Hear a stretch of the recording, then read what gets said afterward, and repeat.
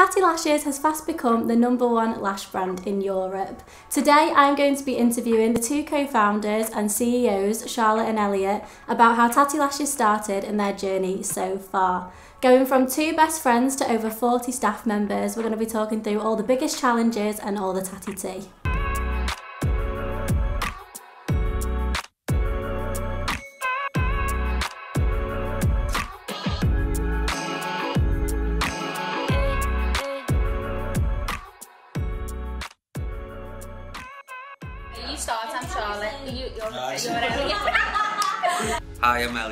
And I'm Charlotte, and we're the CEOs of Tatti Lashes. We started the brand just over four years ago now. Um, it's a bit of a long story, but me and Elliot have been best friends for 16 years, um, right the way through high school. To be honest, I didn't really know what I wanted to do for a while, and then I got to the point where I was like, I've got to do something. And I loved fashion, I love being creative, I love clothes. Um, not so much now because I'm a, I'm a mum board, but I used to love putting outfits together and stuff. So I decided to go to uni to do a fashion degree. Um, and it's so mad to think that I don't do anything like that now, but there's so many aspects of being a part of Tatti Lashes that I use those skills. Yeah, and I think the same for me as well. Like, I really struggled with what I wanted to do when I left school. Like, I wasn't really like academic at all. I was more No, we- creative. none of us were, yeah. no, No, I don't think we had a GCSE to our names. No, I actually left with no GCSEs, left school. So, um, but I was always good at art. I'd tell a lie, I did. I had one in art, um, but I didn't have any in like English or maths or anything like that. So, I think for me, I was very creative. Um, Yeah. I went on to college. Um, We both loved working though, didn't we? That was Yeah. a big thing. We loved earning money and we loved to be creative and we, we've always had that work ethic in us, both of us. Definitely, yeah. So um, me and Elliot both had beauty salons. I had mine for just over 10 years and Elliot had his for up around the same time as Yeah, well. Um, time. I used to specialise in semi-permanent eyelashes, so we used to do classic lashes every single day. It was so busy. it was back to back with clients seven days a week. Um, and I loved doing what I was doing, but then I had my first son and I couldn't go back to doing the hours that I used to do. So yeah, to our initial idea was kind of having like a glass cabinet in each salon, like a bit of storage where we could place the products in and people would come in like kind of like a mini wholesale. So initially we started off by putting in a thousand pounds and that was to get the brand going basically. So we put four styles into production. Um, God, how bad was the styles at the beginning? Yeah, no, they were the shown. Um, so yeah, so we basically done four styles and we got 50 pairs um, and we were just so scared that they weren't going to sell. We ended up doing 1.4 million pairs of lashes. Yeah, which is crazy to think to about think. because we didn't even think we'd sell like 50 of the four styles that we got. No, definitely not. We didn't think that we would at all. We just thought it was just going to be a small little thing that we could do of a Friday because at the beginning of when we first started, we used to keep Fridays, like dedicate Fridays, so we'd go around to local Liverpool salons. We used to have like a silver box um, and we used to put like little stickers on saying tatti lashes and we were really made up with this box because we had all of our like I think we started off with what 200 pairs didn't we Yeah. and we'd go around and most Liverpool salons or local salons that we went to they, wouldn't really get them but there was one time when we did we made about like 100 pounds something like that Yeah. when we started getting a little bit busier, we needed somewhere to base ourselves and pack the lashes and send them off from. So we decided to do it in Elliot's salon. Um, Elliot had like a little room in the back that we could pack the lashes from, so we used to have them all laid out on the floor. Um, so we used to go around to the post office ourselves. We'd have like a big rucksack of um, orders, wouldn't we? And yeah. we'd be waiting in the queue for about three hours at the end of the day. So people would be, at, would be behind us, like, well, kicking off, wouldn't yeah. they? Um, so we, we done that for a while, we done it for a long time, like, doing it like that. And then it got to the point where we outgrew this, the sun bedroom in the back really quickly. Yeah. And we decided to um, renovate his cellar in the salon. I had a basement. Yeah, it was a Um, little basement. It had these little tiny, dodgy stairs that you go down. They were like so so tiny, these little brick stairs. And yeah, we decided to completely renovate it and we started getting busier and busier from there, didn't we? Yeah, so basically we used to call it the dungeon, didn't we? Yeah, Because it was the like a dark dungeon. It was like no lights or anything down there. So um, it was just dead dingy, wasn't but um, yeah, so we got down there and we absolutely made up with it at the time because it was like a little working space. Yeah, so about three months in, I'd say now, um, the business started to grow. We went online, which was a massive help for us. So the orders would come through, we wouldn't have to deal with them ourselves on Instagram, um, and then we'd just pick and pack them. So then we had our first celebrity um, to wear our eyelashes, which was Nicki Minaj, um, which was absolutely amazing at the time. Like we couldn't believe it. No. I remember waking up in the morning. It was about like 6 a.m. Um, and seeing that we were tagged in her in her wearing the lashes, and it was just mad. Yeah, it sort of just escalated from there. It just got really busy. Um, And then from that, we had our second um, major celebrity, which was Khloe Kardashian. And then that's just when like things just went Yeah. crazy. The odds were coming in, and we started getting recognition as like a proper brand then. um, my all-time favourite celebrity is Kim Kardashian. Um, to have Kim Kardashian wearing our eyelashes literally a dream come true. Couldn't believe it when it happened. It was the best feeling. It was probably my favourite ever moment. Like throughout my career, definitely is, is to have a celebrity like her wearing our eyelashes.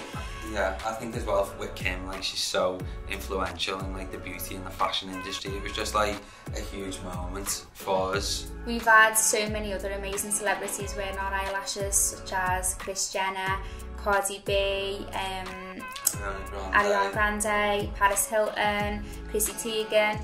To see like amazing people like that wearing our eyelashes is just like It's insane, yeah, it's unbelievable. I think so early on as well. It was like it was so surreal. You know, we're just like two normal people from Liverpool, and then these Hollywood stars wearing your products. It was just like You just don't ever think anything like that will ever happen. So it's just it is a dream come true, isn't it? definitely yeah. We were so lucky to get that so early on. That's when it really started to, to the business to grow. My brother Ryan as well, he was our digital director. Um, when we started the business, I actually didn't know what he'd done for his job, um, but he worked for a big company in Manchester.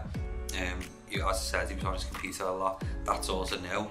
But basically, as Tatti Lashes started taking off, he started showing a bit of an interest into it to see what we were doing, and I realised what his job role was, which is like digital, digital marketing. The funny thing was, is Ryan, when we were fairly new in it, Ryan said that basically, if when we hit a certain amount of money, um, he would leave his job and come and work for us. And We were just like, laughing because we thought that would never ever happen. like as if like it's not going to happen. And then literally like two months in, three months in, we, we did. And we made him leave his job. He left, he actually like, left his he job. left his job, yeah. um, and come and work for us. And I remember we actually drove to his job and picked him up because we had a meeting and he come on it and he was just like, that's it, like I've just handed me notices in. He handed his notice in, came out, got in the car, and it was like starting a new journey. We went on our first ever business meeting, didn't we? Yeah. The three of us. Hi, I'm Ryan. I'm the digital director at Tatti Lashes. Uh, I've been waiting for Tatti Lashes since very early stage, almost four years now. Um, obviously, within that time, I've witnessed significant growth um, within the brand.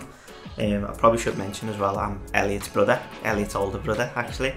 Um, bit of a strange one I was started with Tatti Lashes. Um, I started at the, the very start of the digital journey for Tatti Lashes. Um, I was helping out in my spare time, running some paid ads, helping out with the website when I get home from work of an evening and so on. Um, and after about a month I realised, well, we've actually got a scalable business um, and we've got a concept that works. So during that time I was speaking to Elliot and Charlotte obviously really often um, and then we came up with a figure between us that if Tatti Lashes hit I would leave my employment and, and come and work for Tatti Lashes. It seemed a bit of a pipe dream to be honest and it seemed that something that could happen in a year, it may not happen. And then all of a sudden within two months we, we hit those revenue goals. Um, so I came on board and, and, joined Tatti Lashes team. Um, and then from then on obviously I've, I've been partial to, to mass growth. Last time I counted we sold our product in 93 countries. Um, we're the most searched for eyelash brand in the whole of Europe. Our biggest challenges as a, brand have, have been globalization and growing our brand offline as well. We essentially want to be as big offline as we do online. That's where we see um, revenue growth for us. Um, we did achieve that to some extent last year. Um, lockdown and COVID permitted. Um, we myself and Sarah went over to, to Milan and we pitched to A.S. Watson, who essentially owns Superdrug and all the equivalents of Superdrug throughout Europe. Um, it was like Dragon's Den, to be honest. Um, but at the same time, it, it was really exciting. There was 26 different brands there, and that myself and Sarah had to pitch to. It was really nerve-wracking, but it was exciting at the same time. Um, but it was also really successful because, as a consequence of that, we are now stocked in 700 Superdrug stores in the UK, and we're also in eight different territories across Europe as well, under Ma- Marionnaud and ICI Paris, which is retailed in the Netherlands and Belgium. Um, I'm Sarah. I work across the brand on PR communications and brand partnership. Um, so I joined the brand in 2018 um, when it was a relatively small independent lash brand and it's been amazing to see the growth over the past three years. I work predominantly on connecting the brand with like-minded brands and influencers um, which has led to some really interesting and exciting collaborations. Uh, one of the most recent ones with Jamie Genevieve, um, who is one of the biggest UK influencers. And over the course of the last three years, we have grown to astronomical um, rates within the UK and globally. Definitely, yeah. Yeah, I think it was harder. It's been Um, a few like tears and tantrums, but get major ones. but I feel like now we've got a really good balance, like we both understand our strengths and weaknesses and yeah, at one point we were trying to do absolutely everything. So I was stepping on his toes, doing things not the right way, and he was stepping on my toes, doing things not the right way. And we had to have like a, a good sit down, didn't we? And Yeah, I think at first as well, it was obviously, you know, a change in our friendship as well because we've gone from being best friends to then business partners and the size of what the business grew as well. Like we were dealing with a lot, so we had the press, the pressure was on basically, um, and it could have really went the other way with us. Like Yeah. we were dealing with absolutely hard. everything though, like staff, payroll, getting the orders out, keeping on top of the website, but bringing products to the market. Like it was just non-stop. It was so hard. Yeah. yeah, I honestly do think though, like we were always meant to work together. Like it's just the way it's happened. Everything's happened. It's just like fitted into place. And I think like if I would have started the brand with anyone else or Charlotte would have, like it just wouldn't be Tatti Lashes. Like it's literally a part No, of it both of hundred us. percent couldn't do it with anybody else. Couldn't do it on my own. Like he gives me motivation every day to, to want to be a better businesswoman, and and I, I love that about Al. Um, oh, nice of you. but no, it, it's true. I couldn't I couldn't have a business with anybody else. It just flows, and we've just got really good chemistry, and we just know like the boundaries, don't we? Know and we've got Yeah. really good respect for each other. Um, what I love most about Al is how loyal he is, um, how much of an amazing businessman he's become. Um, he's such an amazing friend. He'd do absolutely anything for anyone. Um, you've just always got me back, haven't you? Yeah. Um, he's like my brother. Literally, is part of my family. He's my baby's godfather. He was my man of honour at my wedding. Yeah. Um, I just love him so much. Couldn't even say how much I love him. I think like how much of an amazing businesswoman Charlotte is is like I don't think she realises as- herself like how good she is and how like strong and independent she is. Like she just comes in and like just like puts everyone in the place, but like she does it in such a constructive way. Um, also, the main one for me as well, as I touched on earlier, is how much of an amazing mum she is um, and a businesswoman. Like, it's just honestly like she literally comes into work and she's had restless nights and she just cracks on with work. And so basically, what we done, the best decision was is to like split our roles up. Um, so I focused on what I was more good at, um, and Charlotte focused on what she was good at, and it just works so much. Like we understand what each other are doing each day.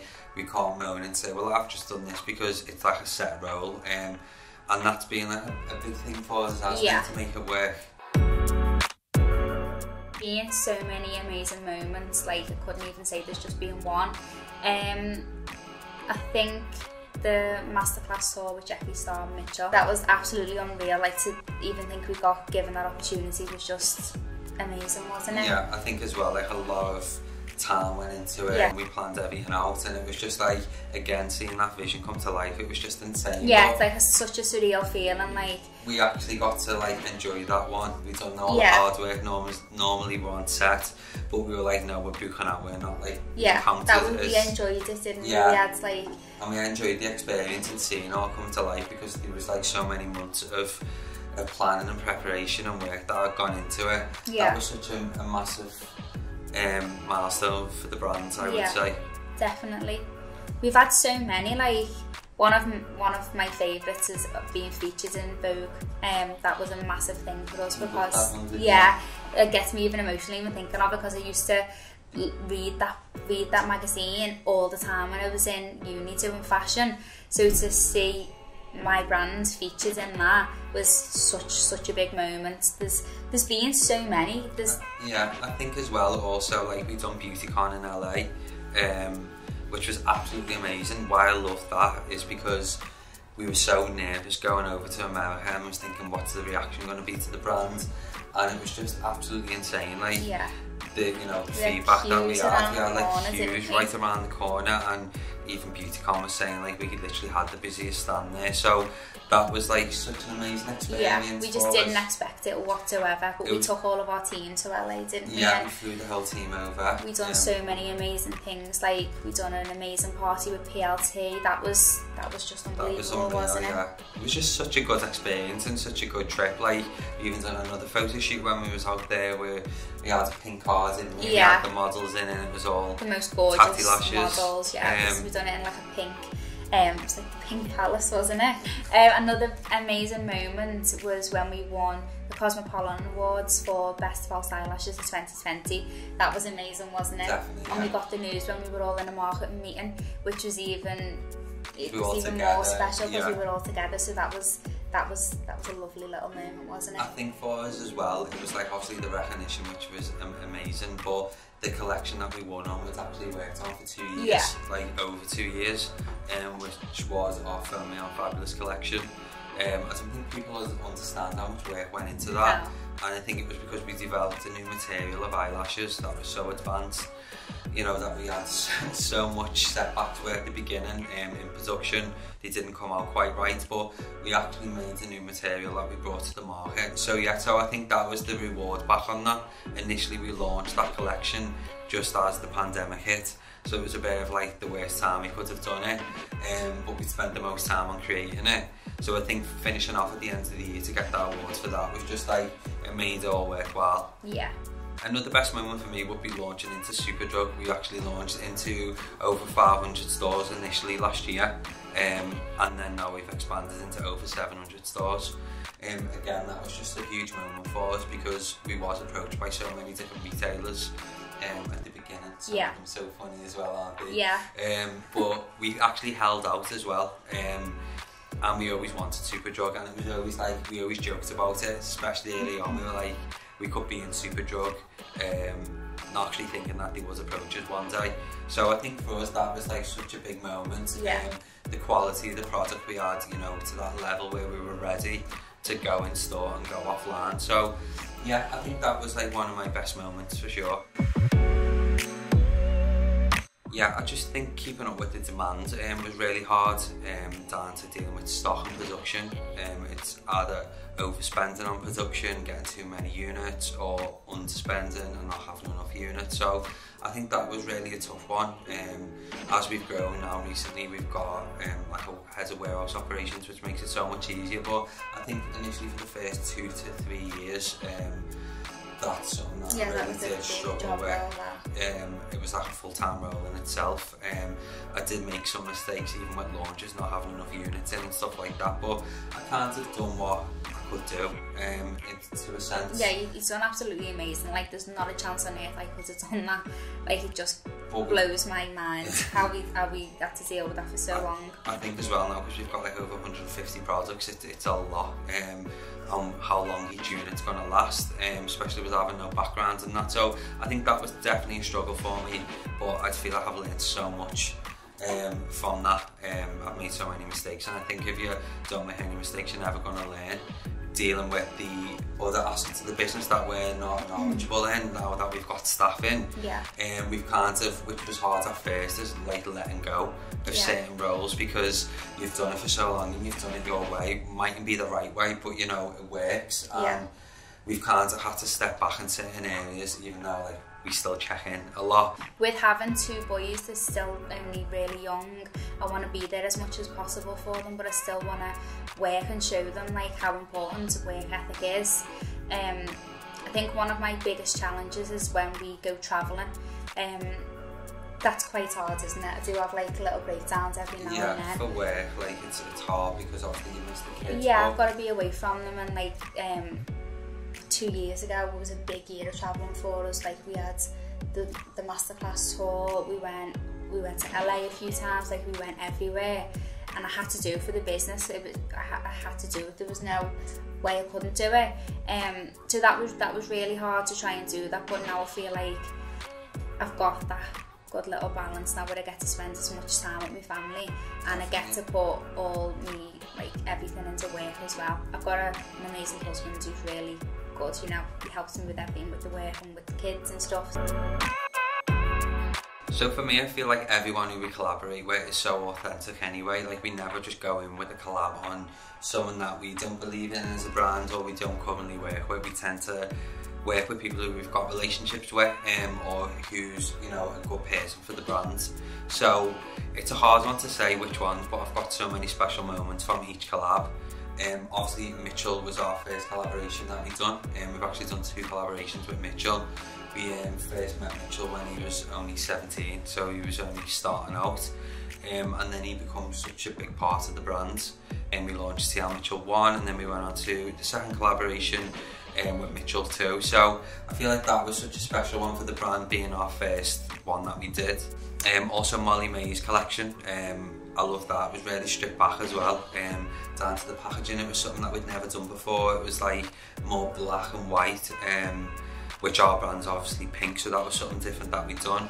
Every collab that we've we've done has always been a little bit different. When we worked with Jamie Genevieve, the shoot was really grungy, wasn't it? It was something that we'd never done before, Yeah. but it turned out to be probably one of my favourite videos that we've done. Yeah, it was quite quirky. It was like Yeah. rather than being all like girly and- glam, yeah. it was like a little bit more rock chick. Yeah, it it really, like, it really showed their personality um, in the video, so that was amazing. My favourite collab, I'd say, is working with PLT. We've brought two ranges out with them now, haven't we? Yeah. And our second collab, I think that was probably my favourite one. Like, definitely. yeah, that was so good, wasn't it? I think it was amazing, like even down to like the shoot and just the way everything was Packaging, like, the names that we have for the for the lashes, like everything was just dead. It was lovely, wasn't it? It was funky. A lot of work goes into it, so we basically start initially from the product and um, what type of product we're bringing out. If it is a collaboration, it's working with who we're collaborating with and what style of eyelashes that suits their personality, what styles they like. So then we'll sit down with the marketing team and we'll come up with like a 360 strategy of how we're going to launch the campaign. We work on all the creative then and like we'll do like loads of mood boards for the shoots. Um, then we're looking at outfits and like wardrobe and makeup and yeah. hair and it's just there's so much involved in a shoot. Yeah, so it's so important to get the team involved from the get-go, putting in the strategy as Charles just touched on, um, and then really coming up with like a strong marketing campaign of how we're going to lead it. We do get a bit stressed, don't we? But we always do pull it off. Like even one of our collections, we literally it landed into the office into the warehouse the day before went live. So we were just Yeah, so lucky. a nightmare. like it was a nightmare. Like to be honest with you, but that's us, isn't it? Like Yeah. we just kind of like just go with it. Just gotta like, wing it Yeah. and just make the best out of a bad situation. We then. actually use that line a lot, don't we? Like Yeah. we wing it so much Yeah. with certain things, but that's just how fast paced certain things are, and you've just gotta not and go smooth. No No. matter how much you plan and you prepare before bringing out a range or collection, there will be some. Or a new product, like there's I'm actually always. laughing at some of the stuff that's actually happened to Yeah. us. Is like mad, but you know we just expect it now. So you've got kind of like pre-plan for something going wrong. no matter how prepared you think you are, like we'll start working on something eight, nine months before, there will always be little things that crop up. We, even though we would like to, it's just hard. Like we tried to do this a while back and just couldn't do it properly, No. could we? Um, so yeah, it is a little bit hard. Like I don't think I want to be doing it all the time. I think it's like a, a one-off. Yeah. You I- do it more than me. I think like I think when it comes to like speaking on camera and stuff, we both get really nervous and like we can just say like our whole story so easily, but when the camera's turned on, it just like Yeah. we just freeze a little bit. But it, we're just happy with like being behind the camera, you know, Yeah. and working on the brand. I feel like it was just so important to tell our story and to show that. Like from the outset, everything looks perfect when it's not. Like we've made mistakes. Yeah, it's been up and down. It's been a, a full roller coaster from the minute we started. Definitely. We never ever thought that we'd be on this journey at all. And I think we? like with that, like with the setbacks, you know, you've just got to keep going. Which trust me, we've had so many setbacks, Yeah. and you know, it feels the worst thing at the time. But you've just got to keep going on, and and things do get better and things do get easier. But I just think if you don't take chances, like we never done this, like it was so close, we weren't going to go ahead with it Yeah. because we weren't confident enough, and that's it. Like, what was all? What would we be doing now? Because this is our lives and this is our passion and it's something that we just absolutely love.